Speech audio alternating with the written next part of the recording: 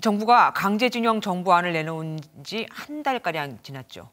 재판에서 승소한 강제징용 피해자 15명 중 10명이 정부의 제3자 변제안에 동의해 배상금을 받기로 했습니다.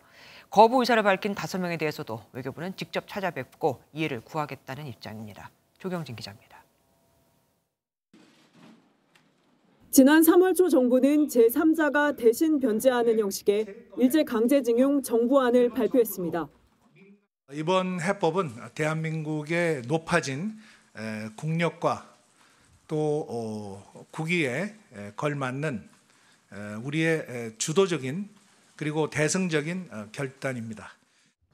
발표 한 달이 지난 시점에서 외교부는 지난 2018년 대법원 확정 판결로 손해배상 청구 소송에서 승소한 피해자 15명 가운데 10명이 배상금 수령에 동의했다고 밝혔습니다.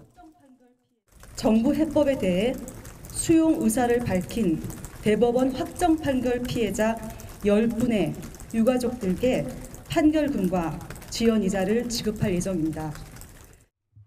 이를 위해 판결문 원본, 가족관계 증명 등 검토 절차를 거쳤고 일제 강제동원 피해자 지원재단은 이사회를 열어 승인 절차를 마쳤습니다. 재단 측은 대법원이 판결한 손해배상금과 지연이자 등을 합쳐 피해자 한 명에 대해 2억 3천만 원에서 2억 9천만 원 가량을 지급할 예정입니다. 재단 관계자는 포스코의 40억 원 외에 일부 개인과 단체의 기부가 있었지만 현재는 기부 관련 협의를 더 진행 중인 기업이나 단체는 없다고 분위기를 전했습니다.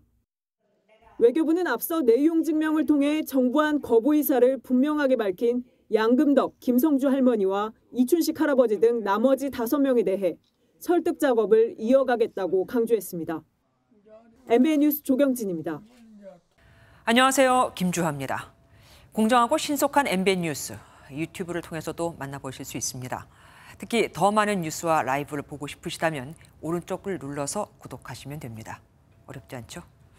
빠르고 정확한 뉴스로 계속 찾아뵙겠습니다. MBN 뉴스를 시청해주신 여러분 고맙습니다.